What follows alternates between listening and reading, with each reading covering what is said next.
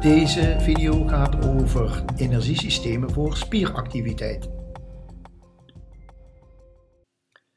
Energie ligt opgeslagen in ons voedsel, maar kan deze energie direct gebruikt worden om bijvoorbeeld een sprintje te trekken? Nee, zo werkt dat niet. Het kost tijd om het voedsel te verteren en na opname in de cellen verder af te breken. Deze energie is dus niet direct beschikbaar. Het voedsel levert wel energie die opgeslagen wordt in een energierijke fosfaatverbinding ATP, het adenosine trifosfaat.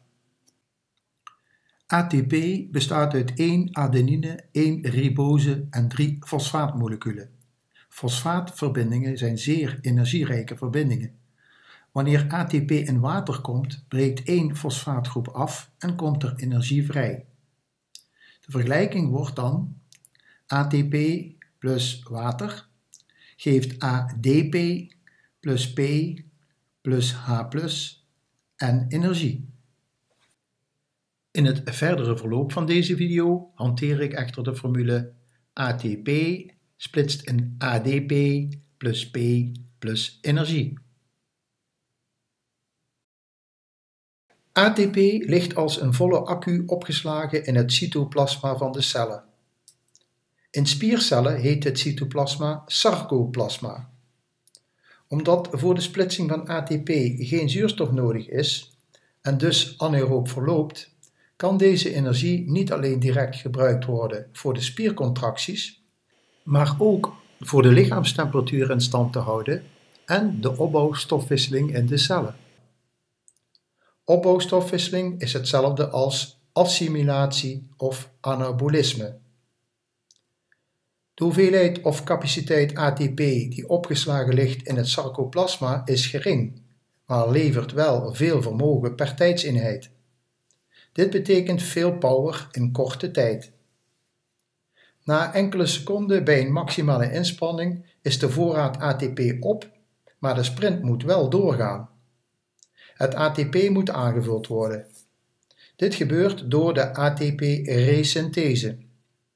Hiervoor is een tweede energierijke fosfaatverbinding in het sarcoplasma aanwezig, het creatinefosfaat. Het creatinefosfaat vormt met het overgebleven ADP nieuw ATP. Dit levert weer energie voor 8 tot 20 seconden bij een maximale inspanning. Ook dit proces verloopt anaeroop omdat zuurstof hierbij nauwelijks een rol speelt.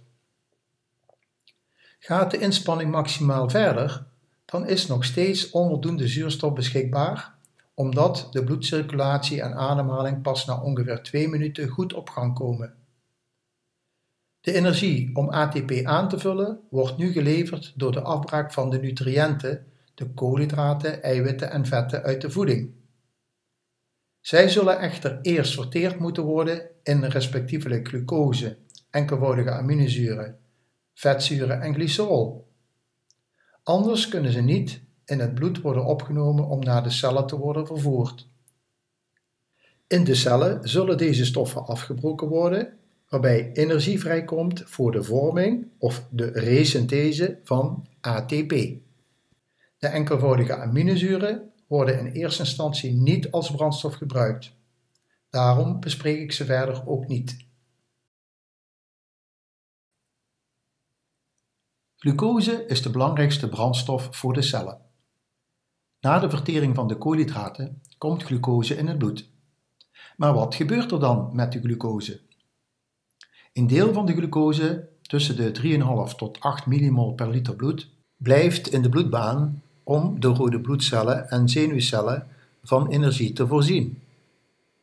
Voor de opname van glucose in de cellen, de lever, de skeletspieren en het vetweefsel is het hormoon insuline nodig vanuit de alvleesklier. Eén deel gaat rechtstreeks naar de cellen om meteen als brandstof gebruikt te worden.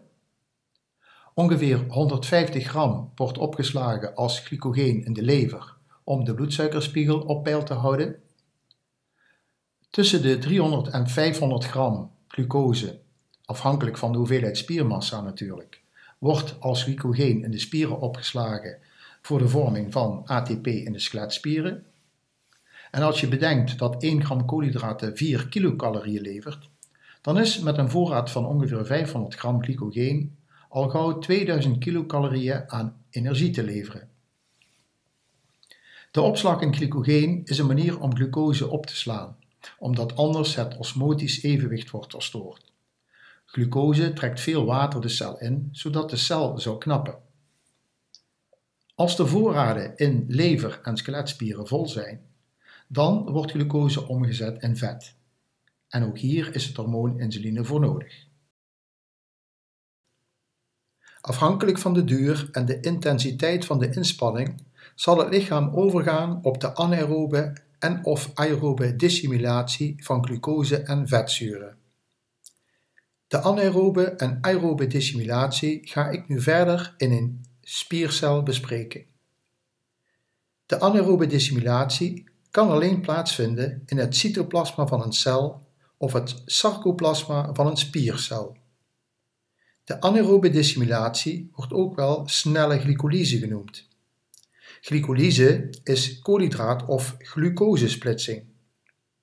Het is een energieproces dat plaatsvindt bij hoge intensiteit en bij tussen- en eindsprints.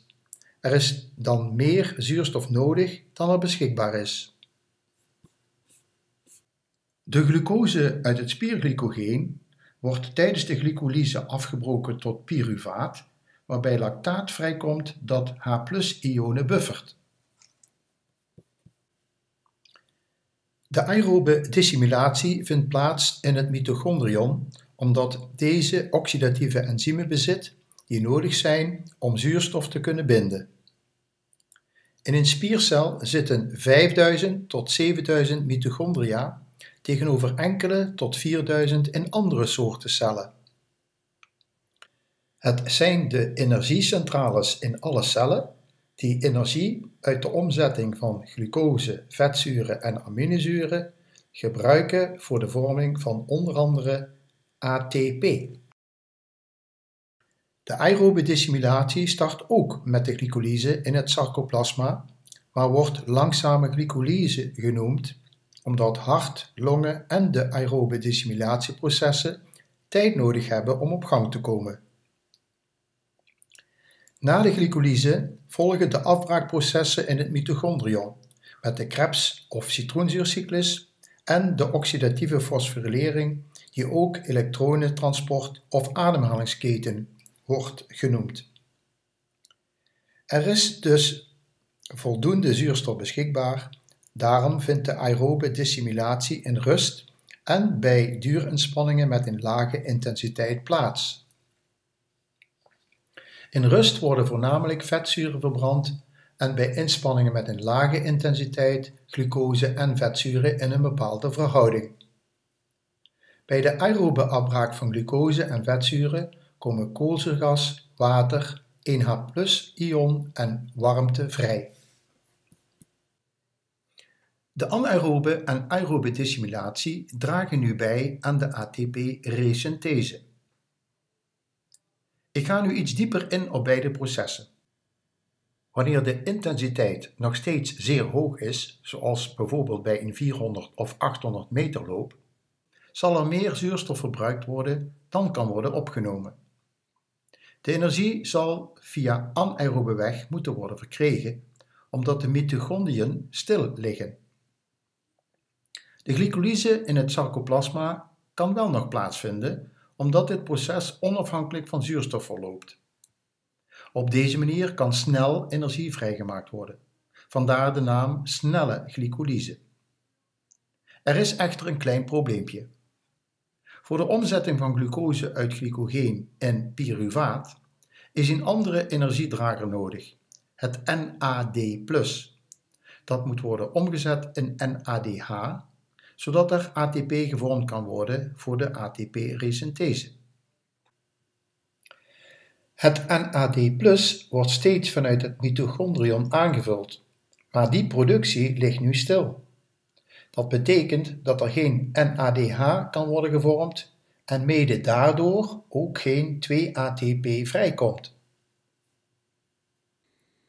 Daar heeft de cel iets op gevonden. Het pyruvaat wordt dan omgezet in lactaat, waarbij tevens NADH wordt omgezet naar NAD+. Dit NAD+, wordt dan weer gebruikt om NADH te vormen, waardoor de glycolyse door kan gaan en 2 ATP levert. Dit geeft bij maximale inspanning tot ongeveer 2 minuten aan energie, omdat de H+-ionen zich gaan stapelen. Ze kunnen onvoldoende door lactaat en andere bufferstoffen geneutraliseerd worden en gaan de spieren verzuren. Dus niet door het melkzuur of het lactaat. Het lactaat wordt door de spiercel aan de lever afgegeven. De lever zet het lactaat om in glucose via de Cori-cyclus. Het glucose kan weer gebruikt worden voor onder andere de hersenen, de hartspier, de nieren en de aeroop werkende indien er voldoende zuurstof is. Dit zal het geval zijn wanneer de intensiteit afneemt of wanneer de inspanning stopt en natuurlijk in de rustsituatie. Het lichaam schakelt dan over op de aerobe dissimulatie van glucose en vetzuren voor de ATP-resynthese. Dit gebeurt in de mitochondria. Afhankelijk van de duur en intensiteit zal de relatieve bijdrage van de verbranding van glucose of vetzuren worden bepaald. In eerste instantie zal het lichaam glucose gebruiken voor de vorming van ATP omdat daar veel minder zuurstof voor nodig is. Eh, let op, de aerobe dissimulatie start ook met de glycolyse in het sarcoplasma, maar wordt nu langzame glycolyse genoemd, omdat hart, longen en aerobe dissimulatieprocessen in het mitochondrion tijd nodig hebben om op gang te komen. De glycolyse, waarbij het vrije glucose of glucose uit het spierglycogeen omgezet wordt in pyruvaat levert, zoals bekend is, 2 ATP. Daarna wordt het pyruvaat in het mitochondrion van de cel opgenomen, want er is immers voldoende zuurstof. Dit kost echter 2 ATP. In het mitochondrion wordt pyruvaat door het acetylcoenzym A afgebroken in verschillende stappen tijdens de Krebs- of citroenzuurcyclus omdat deze cyclus twee keer loopt, levert dit 2 ATP op. Het elektronentransport tijdens de oxidatieve fosforilering zorgt ervoor dat H+-ionen over de celmembraan worden getransporteerd. Dit levert 34 ATP op. Bruto is dat 38 ATP, maar omdat het transport van pyruvaat naar de mitochondriën 2 ATP kost, levert de aerobe dissimulatie in het mitochondrion 36 ATP. De vetzuren worden in het mitochondrion ook door het acetylcoenzym A afgebroken en leveren 130 ATP op. Dit heet beta-oxidatie. We zien in de reactievergelijkingen dat de aanvulling of resynthese van ATP voor de fosfaatbatterij door de oxidatie of verbranding van glucose 36 ATP oplevert en door de verbranding van vetzuren 130 ATP. Dat is bijna vier keer zoveel aan energie. Ook is goed te zien dat voor de verbranding van 1 molecuul glucose 6 moleculen zuurstof en voor 1 molecuul vetzuren 23 moleculen zuurstof nodig zijn. Dat is ongeveer vier keer zoveel. In rust worden door de ATP-resynthese dan ook voornamelijk vetzuren verbrand. Daarnaast komen er meer afvalstoffen in de vorm van water en koolzuurgas vrij bij de verbranding van de vetzuren. Omdat het lichaam over veel meer vetreserves beschikt dan glycogeen, kan er vrijwel onbeperkt energie uit de vetzuren geleverd worden. Maar dan moeten er nog wel suikers aanwezig zijn, want de aerobe verbranding van vetten start ook met de glycolyse. Zonder suikers is er dus nauwelijks vetverbranding mogelijk. Glucose op is hongerklop en dan ontmoet je de man met de hamer.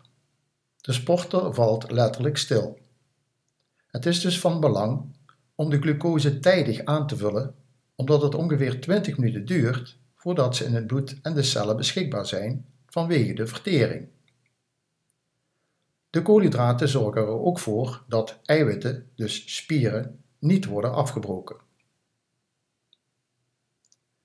De relatieve bijdrage van de aerobe dissimulatie van glucose en vetzuren is afhankelijk van de snelheid en de beschikbare hoeveelheid zuurstof, waarbij energie wordt geleverd voor de ATP-resynthese.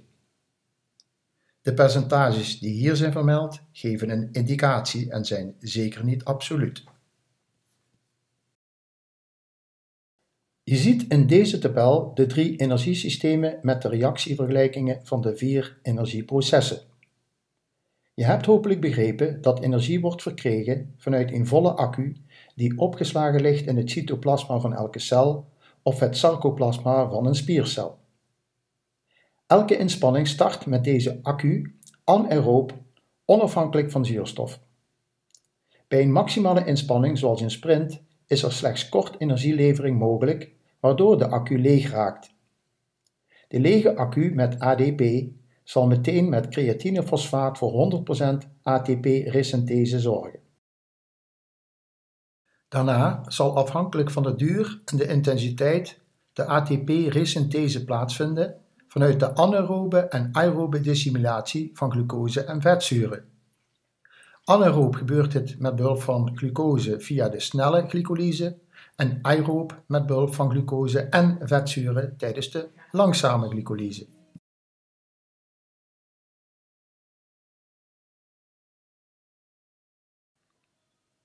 De bijdrage die de processen leveren is te vergelijken met een bad met een voorraad fosfaten, ATP en CP, waar via een te reguleren kraan water uitstroomt. Dit is het energieverbruik. Het waterpeil in het onderste kleine bad moet constant worden gehouden door drie kranen die allemaal een verschillende diameter en een verschil in waterreservoir hebben. De diameter stelt het vermogen voor en de grootte van het waterreservoir is de capaciteit van een energiesysteem. In deze grafische voorstelling zie je dat de energielevering start met een volle ATP-accu. Je ziet ook dat de drie energiesystemen tegelijkertijd verlopen en samen zorgen voor 100% ATP-resynthese. De relatieve bijdrage aan de energielevering is uiteraard afhankelijk van de duur en intensiteit van de belasting. Verder zie je dat een sprinter niet gebaat is bij duurtrainingen, maar wel met korte sprinttrainingen, afgewisseld met actieve pauzes om de fosfaatbatterij steeds op te lazen. Een 800 meter loper of judoka bijvoorbeeld legt het accent op intervaltraining waarbij steeds meer H+-ionen gevormd en voor een deel ook weer afgebroken worden in de actieve pauzes. Zo vergroot je de VO2 max. Een voetballer of marathonloper zal het accent op de aerobe energielevering leggen, maar zal ook voor de tussen- en eindsprints intervaltrainingen in het trainingsschema opnemen om de verzuring zo lang mogelijk uit te stellen. Tot slot nog een opmerking over spierkramp. Naast het leveren van energie zorgt ATP ook voor het ontkoppelen van de cross bridges of bruggetjes tussen de actine- en myosinefilamenten. Spierkramp treedt vaak op in een verlenging van een wedstrijd. Dit komt omdat er te weinig energie in de vorm van ATP beschikbaar is. Daardoor blijft de koppeling in stand en komt de spier in een kramp. Laat de informatie voor nu even bezinken en bekijk de video op een ander moment nog een paar keer. Dan ga je het steeds beter begrijpen. Succes! Dit is het einde van deze video.